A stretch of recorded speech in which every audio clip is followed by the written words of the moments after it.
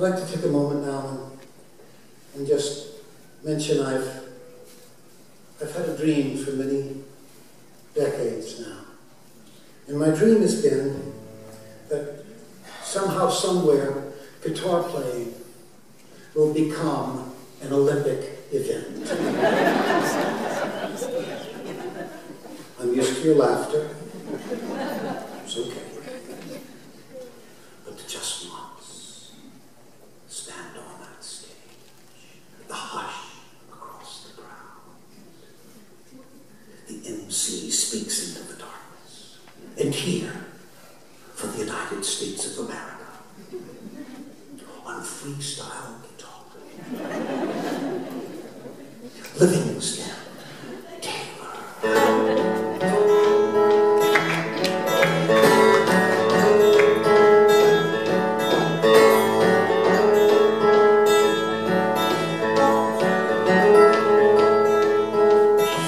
Chip, Livingston's doing a little shuffle here in A major.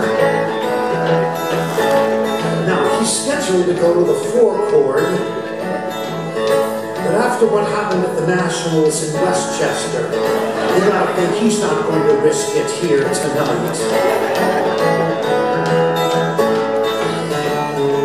Wait a minute, no, I am wrong. He's gonna go for it.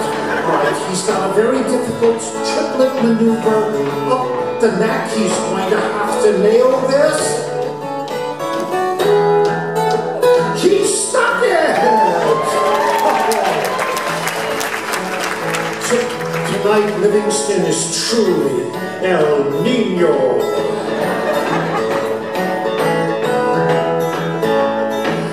You know, these guitar players are so popular around the Olympic Village.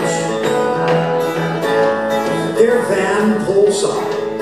Go up to their rooms.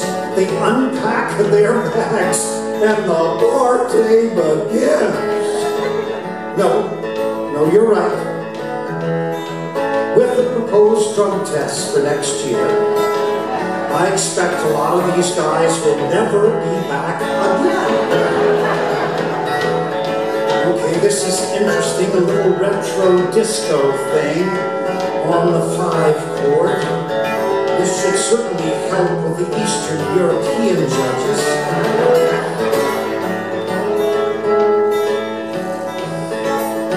Chip, the entire Olympic community is just buzzing about the chances for Livingston and James in the pairs competition.